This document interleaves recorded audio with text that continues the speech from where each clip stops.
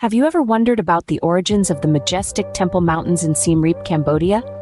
The answer lies in the fascinating history of the Bakong Temple. Standing proudly in the Roluos area near Siem Reap, Bakong is a popular Angkorian temple mountain that commands awe and respect.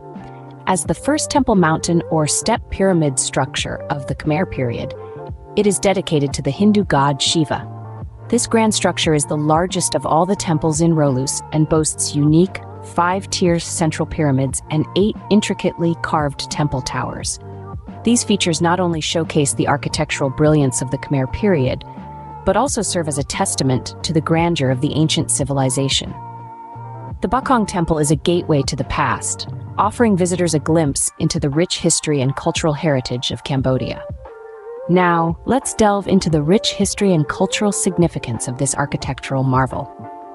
The history of Bakong Temple takes us back to the early 9th century during the reign of King Indravarman I. His vision was to create a temple mountain that would surpass anything seen before. A structure that would not only serve as a place of worship, but also stand as a symbol of the Khmer Empire's might and sophistication. King Indravarman I had a grand vision for his kingdom and its spiritual center. He wanted to create a temple that would be a representation of Mount Meru, the home of the gods in Hindu mythology. Bakong was to be the first of its kind, a temple mountain or step pyramid dedicated to the Hindu god Shiva. The temple was built just decades after the previous emperor had established his capital in the ancient city of Hariharalaya. This was a time of great change and development for the Khmer Empire, and the construction of Bakong was a significant milestone in this journey. The design of Bakong was not merely an aesthetic choice, it was an embodiment of the empire's spiritual beliefs and cosmological views. The temple was built as a representation of the Hindu universe, with its five-tiered pyramid symbolizing the sacred Mount Meru and the surrounding moat representing the ocean surrounding the world. But Bakong was more than just a spiritual center. It also served as a state temple with a sanatorium dedicated to Lord Shiva, this was a place where the empire's most significant rituals and ceremonies were performed, and it played a crucial role in the political and religious life of the Khmer Empire.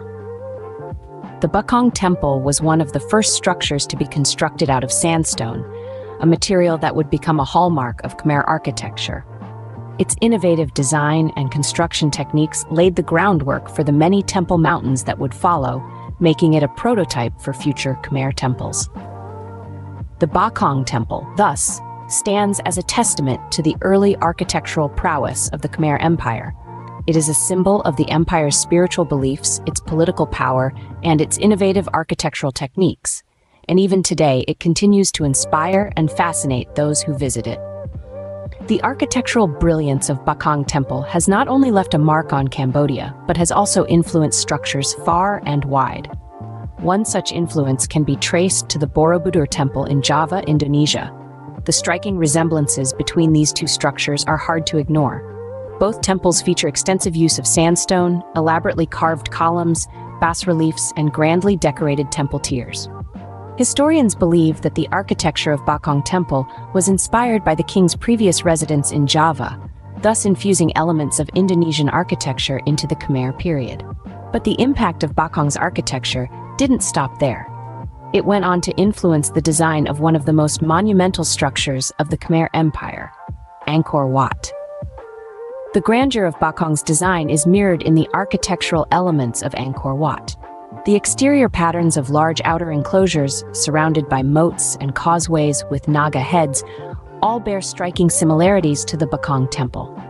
It's not just Angkor Wat that shows Bakong's architectural influence.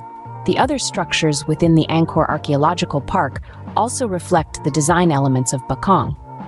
This temple, therefore, served as a blueprint for many architectural marvels that followed, reinforcing its importance and influence during the Khmer period. The Bakong Temple showcases a unique blend of architectural styles, reflecting the cultural exchange between Cambodia and Indonesia during the 9th century. Its influence on Angkor Wat and other Khmer structures underscores the temple's architectural brilliance and its pivotal role in shaping the architectural landscape of the Khmer period. The Bakong Temple, therefore, played a pivotal role in shaping the architectural landscape of the Khmer period. The architecture of Bakong Temple is a wonder in itself, reflecting the grandeur of the Khmer Empire. This remarkable edifice, a testament to the architectural prowess of the Khmer period, remains an awe-inspiring sight even today. A closer look at the Bakong Temple reveals an intricate design, comprising a series of concentric enclosures separated by moats. The outermost moat, now partially visible, once served as a formidable barrier, enhancing the temple's grandeur.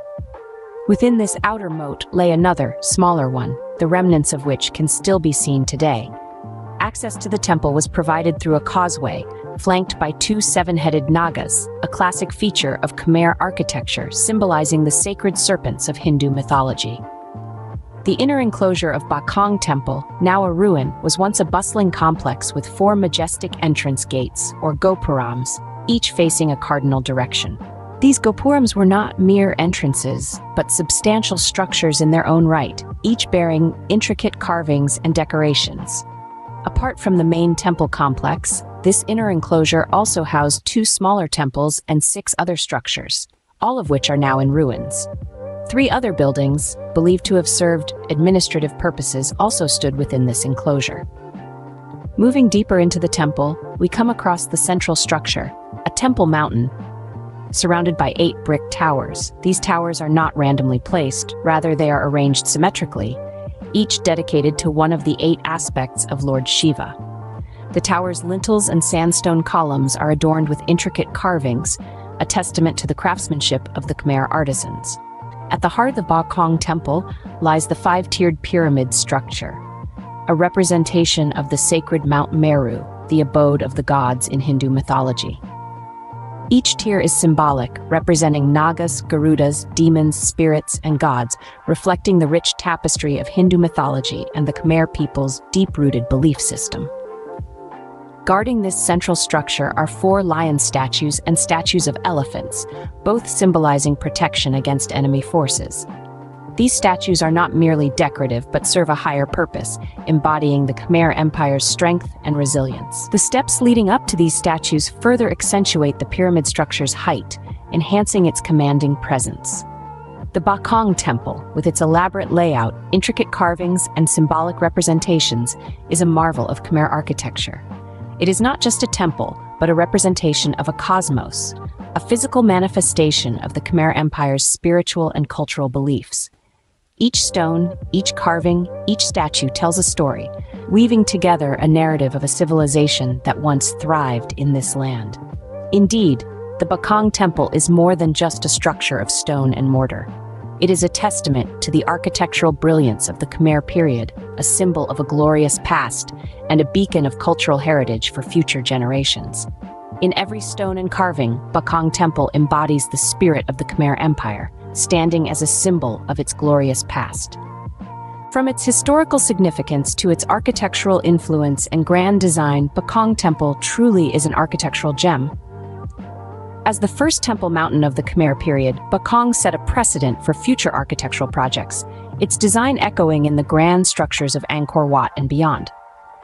Its five-tier central pyramid, eight intricately carved temple towers, and bas-reliefs all stand as testaments to the architectural brilliance of the Khmer period. This remarkable structure, dedicated to the Hindu god Shiva, served as a prototype for temple mountains and functioned as a state temple with a sanatorium.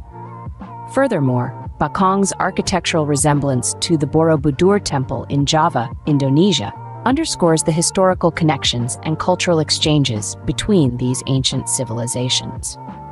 So next time you find yourself marveling at the grand structures of Siem Reap, remember the Bakong Temple, the origin of this architectural brilliance.